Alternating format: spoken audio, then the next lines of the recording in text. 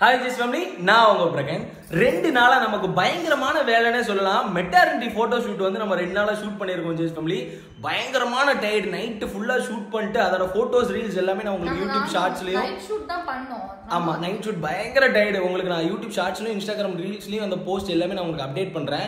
ரொம்ப டயர்ட் ஆயிட்டு இன்னைக்கு தான் கொஞ்சம் ரிலீஃப் ஆகலாம் அப்படின்னு சொல்லிட்டு நாங்க ரிலாக்ஸ் ஆனோம். ஆனா இன்னைக்கு மேடம் சாப்பிட்டுட்டு மாத்திரை போட போனாங்க. மாத்திரை இல்ல ஓ இன்னைக்கு செக்அப் அப்படின்னு பார்த்தோம்னா நைன்த் மந்த்ல இன்னைக்கு checkup Jess family first checkup அப்படின்னே சொல்லலாம். ஸோ இன்னைக்கு தான் நிறைய விஷயங்கள் தெரிய வரும். வெயிட் எப்படி இருக்கு? அண்ட் நிறைய டெஸ்ட்லாம் எடுக்க சொல்லியிருக்காங்க. ஸோ நைன்த் மந்த் ஸ்டார்ட் ஆயிட்டு இந்த இந்த வாரம் ஃபுல்லாவே ஒழுங்கா நாங்கள் எதுவுமே சாப்பிடல. ஏன்னா அந்த ஷூட் இப்படி நான் அங்கிட்ட இங்கிட்ட அலைஞ்சனால ஸ்னேகாக்கு என்னால் ஒழுங்கா எதுவுமே கொடுக்க முடியல ஒழுங்கா பார்த்துக்க முடியல. ஸோ கொஞ்சம் பயமாவும் ஒரு பதட்டமாவும் இருக்கு. பட் பேபி கண்டிப்பா நல்லா இருக்கும்னு நம்புறேன். ஏன்னா ஸ்னேகா அது பாப்பா நல்லா தான் இருக்கும். ஸோ இன்னைக்கு போயிட்டு எந்த காம்ப்ளிகேஷனும் இல்லை இந்த தண்ணி நல்லா தான் ஒரு இதாக இருக்கா? ஸோ இந்த தண்ணி லெவல் அது இதுன்னு எதுவும் லாஸ்ட் டைம் காம்ப்ளிகேஷன் ஆகும்பாங்க. ஸோ அந்த மாதிரி எதுவும் ஆகக்கூடாது அப்படின்னு நானும் ரொம்ப பதட்டத்தில் இருக்கேன். ஏன்னா நெருங்கிட்டு பார்த்தீங்கன்னா நாலு நெருங்க நெருங்க அப்படியே பயமாக இருக்கு ஜெயஸ் ஸோ இன்றைக்கி நம்ம ஹாஸ்பிட்டல் போயிட்டு செக் பண்ணி பார்க்க போகிறோம் செக்கப் தான் போக போகிறோம் ஸோ என்னென்ன சொல்கிறாங்க அப்படின்ட்டு இன்றைக்கி வீடியோவில் பார்க்கலாம் ஜெயஸ் சொல்லி ஸோ பேபி பற்றின ஒரு அப்டேட்டாக இருக்கும். அதுக்கப்புறம் நான் சொன்ன மாதிரி மெட்டாரிட்டி ஷூட் வீடியோ வந்து உங்களுக்கு நீங்க பார்த்துருப்பீங்க. சப்போஸ் இந்த வீடியோக்கு முன்னாடியே வந்திருக்கும் இல்லைன்னா இந்த வீடியோக்கு அடுத்து வரும். ஸோ நீங்க வெயிட் பண்ணிட்டே இருங்க. கண்டிப்பா வந்துரும் ஜெஸ் family so reel shorts photos எல்லாமே நான் உங்களுக்கு அப்டேட் பண்றேன். அதுக்கப்புறம் ஸ்னேகாவுக்கும் ஒரு சேடான ஒரு வீடியோ இருக்கு. அது வந்து அடுத்த அடுத்த வீடியோல வரும். ஏன்னா மேடம் வந்து சொல்ல மாட்டேன். நான் வந்து அடுத்த வீடியோல உங்களுக்கு சொல்றேன் ஜெஸ் ஃபேமிலி ஆனா எனக்கு ஜாலியான விஷயம் தான் அது. ஸோ நம்மளுக்கு அடுத்த அடுத்த வீடியோல சொல்றேன். இப்போ நம்ம ஹாஸ்பிட்டல் போயிட்டு செக்அப் பண்ணிட்டு வரலாம் ஜெஸ் ஃபேமிலி வாங்க வீடியோக்குள்ள போகலாம்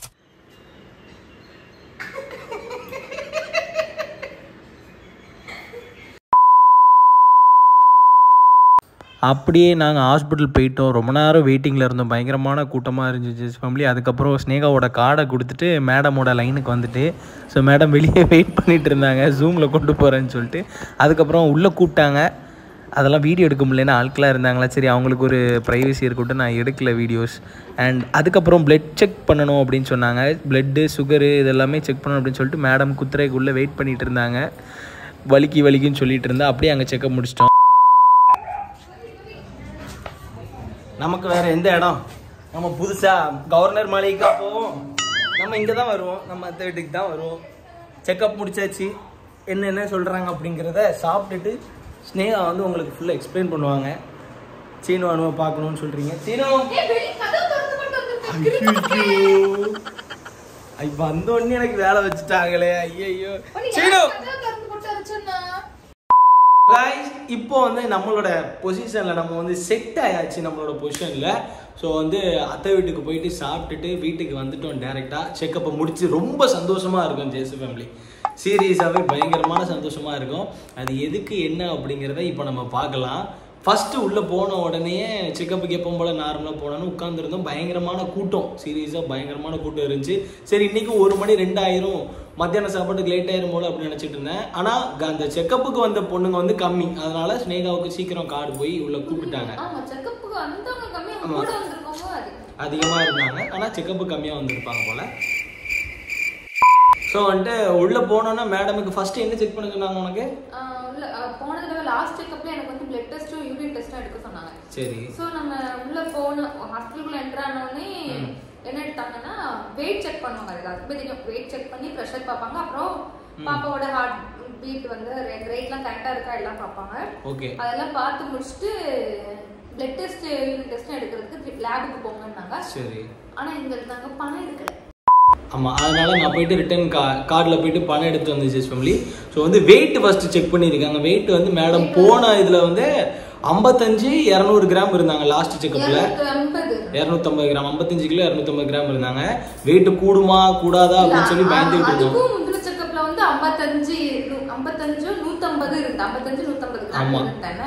நூறு கிராம் தான் ஒரு செக்கப்ல கூடிக்கணும்னா பயந்துகிட்டு இருந்தா.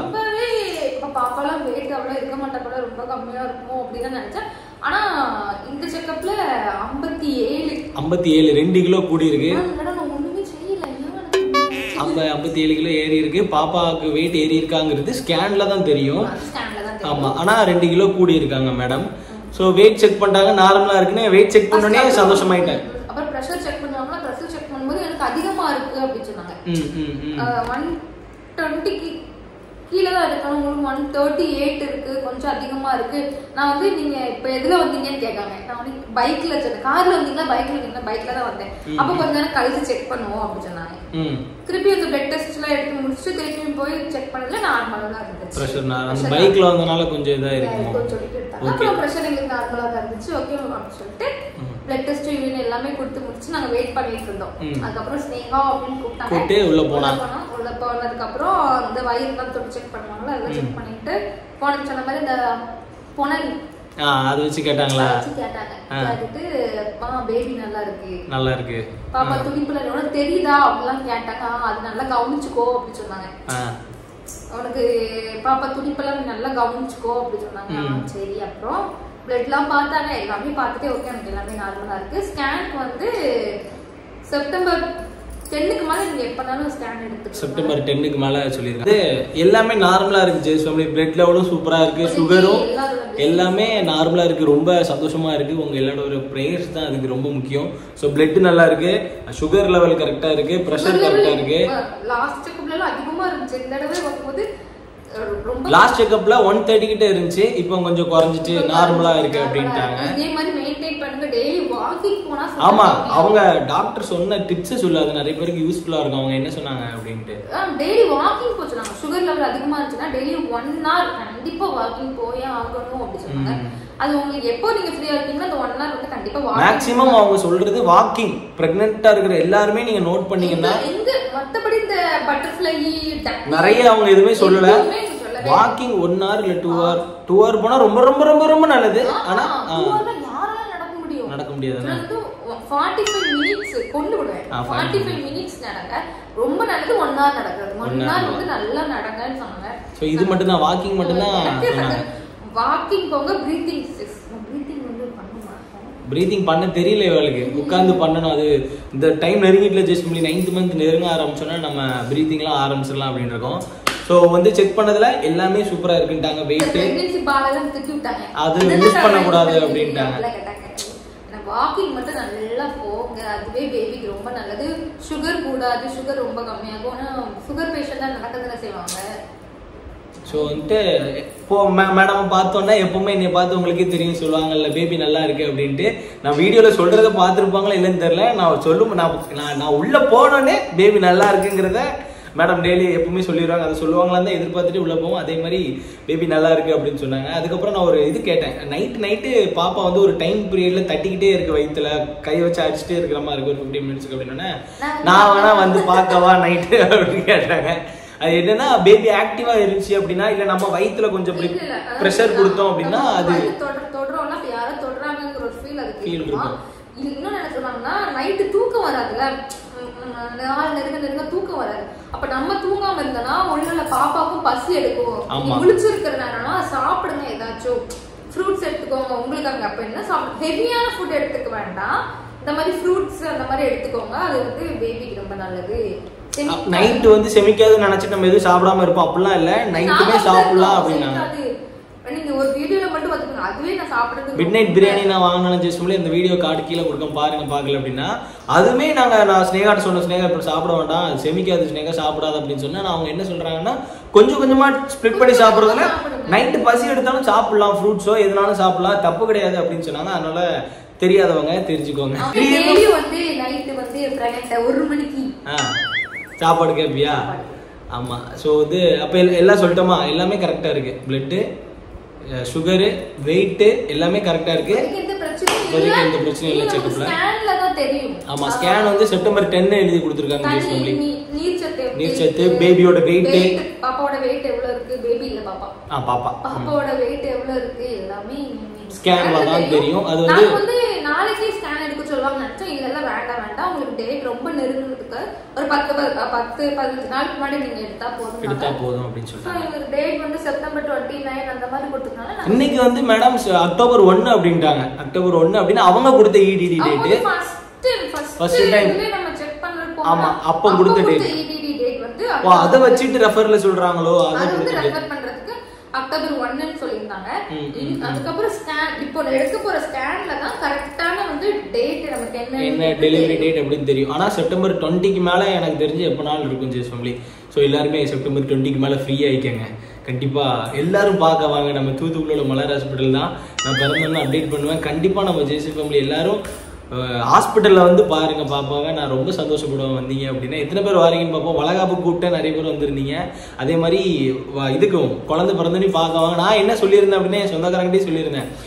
ரொம்ப க்ளோஸான சொந்தங்கள் நீங்க அப்படின்னா கண்டிப்பா எல்லாரும் ஹாஸ்பிட்டல்ல வந்து பார்க்கணும். அஞ்சு நாலு நாளோ மூணு நாளோ எப்படி ஹாஸ்பிட்டல்ல இருப்போம்ல? அப்போ நீங்க வந்து பார்த்தா. அதான் ஒரு ரெண்டு நாளாச்சும் இருப்போம் ஆஹ் மூணாவது நாள் ஒரு ஊசி போட்டு போடுவாங்க. அதான் ரொம்ப நெருங்கிய சொந்தமா இருந்தீங்க அப்படின்னா நீங்களாம் மூணு நாள் ஹாஸ்பிட்டல் இருக்கிறதுக்குள்ள வந்து பாத்துறணும் அப்படின்னு என் சொந்தத்துக்குலாம் சொல்லி வச்சிருக்கேன். அதே மாதிரிதான் ரெண்டு நாள் ரெண்டு நாளுக்குள்ள. ஆமா அதே மாதிரி தான் உங்க ஜேசி பண்ணி உங்ககிட்டயும் சொல்லிடுறேன் பாப்பா பிறந்து அப்டேட் பண்ண ரெண்டாவது நாள் தூத்துக்குள்ள உள்ள மலர் ஹாஸ்பிட்டல்ல வந்து பாக்குறீங்க ஜேஸ் ஃபேமிலி நீங்க. நான் அதை பார்க்க தான் போறேன். ஸோ வந்து ஆமா அவ்வளவுதான் நினைக்கிறேன். எல்லாமே நான் சொல்லிட்டோம். இப்போதைக்கு நல்லா இருக்கு. உங்களோட ப்ரேயர்ஸ் அண்ட் பிளெஸிங்ஸ் தான் ஜேஸ் ஃபேமிலி இதுக்கு முழுக்க முழுக்க காரணம். அந்த மாதிரி நார்மல் டெலிவரி ஆகும். ஆமா அதுக்காகவும் எல்லாரும் ப்ரேயர் பண்ணிக்கங்க நார்மல் டெலிவரி ஆகணும் அப்படின்ட்டு. ஸோ ரொம்ப நன்றி. இதே மாதிரி உங்க லவ் சப்போர்ட் எப்பவுமே கொடுத்துட்டே இருங்க ஜேஸ் ஃபேமிலி ஸோ வந்து நான் சொன்ன மாதிரி மெட்டாரிட்டி வீடியோ வந்து இதுக்கு முன்னாடி நீங்கள் பார்த்துருக்க வாய்ப்பு இல்லை.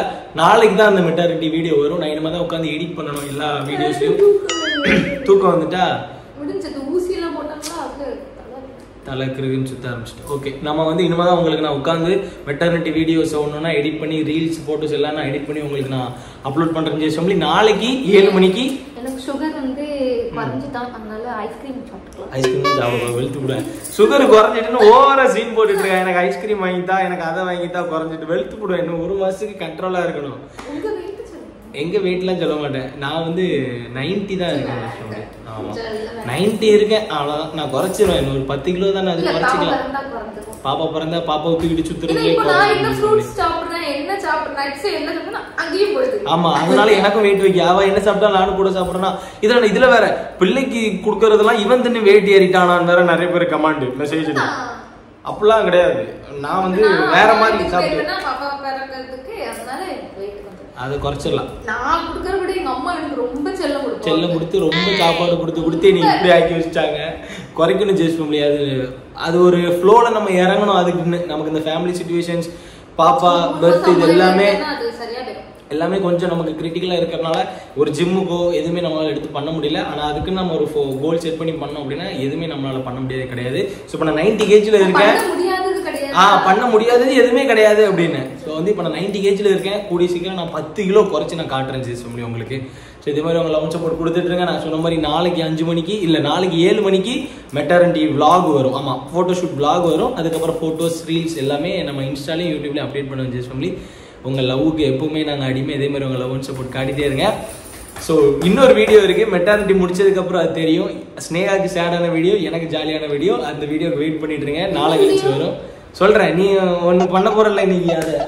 சொல்கிற சொல்கிற தெரிய ஒரு எல்லாருக்கும் கூட்டி சீக்கிரம். ஸோ அடுத்த வீடியோவில் பார்க்கலாம் ஜெய்ஸ் பண்ணி நான் உங்கள் பிறகு சேஸ் நீங்கள் நம்ம ஜேஸ் ஃபேமிலி மெம்பர் ஆகலனா கீழே உள்ள சப்ஸ்கிரைப் பண்ணி தட்டிட்டு நம்ம ஜேஸ் ஃபேமிலி நீங்கள் ஒரு மெம்பர் ஆயிருங்க நாளைக்கு ஏழு மணிக்கு அடுத்த வீடியோவில் பார்க்கலாம். மெட்டானிட்டி ஷூட் வீடியோவில் பார்க்கலாம். பை ஜேஸ் ஃபேமிலி நீ யோசிச்சுக்கிட்டே இரு. சஸ்பென்ஸோடே இரு.